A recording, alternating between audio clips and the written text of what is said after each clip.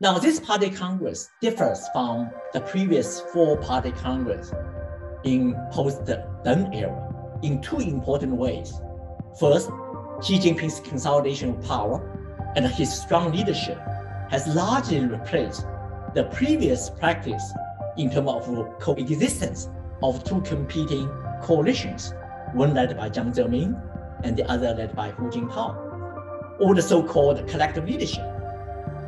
Secondly, some of the norms and the rules of elite recruitment established in the post-Deng era, such as mandatory retirement age and the term limit, will not be strictly applied this time. Now, these norms and the rules have imparted a sense of con consistency and fairness uh, in the past two decades. Now, the absence of these norms and rules may cause serious resentment and resistance. In the Politburo Standing Committee, for example, only Xi Jinping will surely stay, and only Li Zhanshu, the oldest member, will surely leave, although Li Zhanshu may become, you know, the vice president of PRC. Now, the age span of the other five members is only three years. There are no objective criteria to determine who will stay and who will leave. Now, under the current circumstances, I believe Xi Jinping, um, his call for unity of the leadership, stability of the country, and the continuity of market reform reflects his countermeasure to these kind of challenges.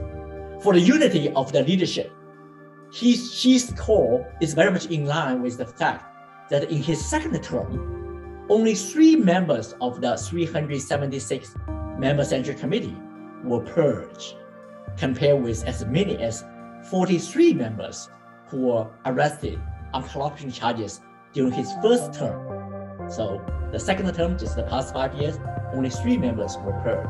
But the, his first term, 43 members. These are very, very important uh, high-level, uh, high-ranking officials. 43 members of Central Committee were purged in the first term.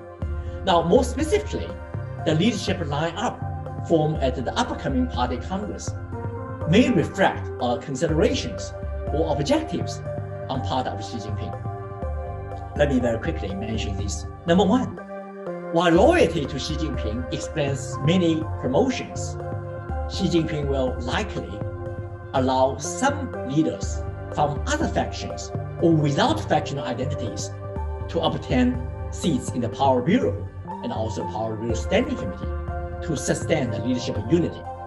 Hu Chunhua, um, a protege of Hu, Hu Jintao, will likely obtain a Power Politburo Standing Committee seat.